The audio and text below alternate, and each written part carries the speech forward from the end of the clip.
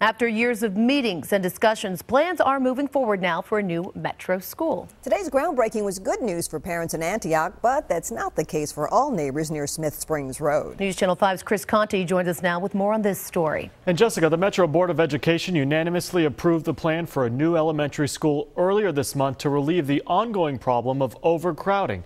But that approval did not come without controversy. It's not a safe site.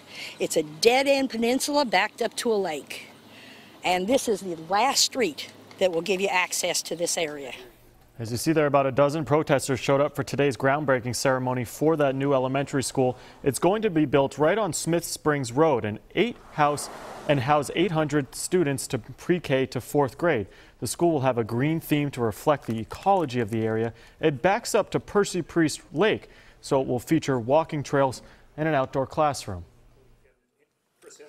Change is difficult. I mean, that's one. You know, change is always hard. But I think that once folks see this beautiful new building and what it adds to the community in terms of giving their children and children in this area a better education, that's a good thing. And I think it's only going to enhance this area, and it'll, it'll actually result in increased property values and make this a more compelling place to live.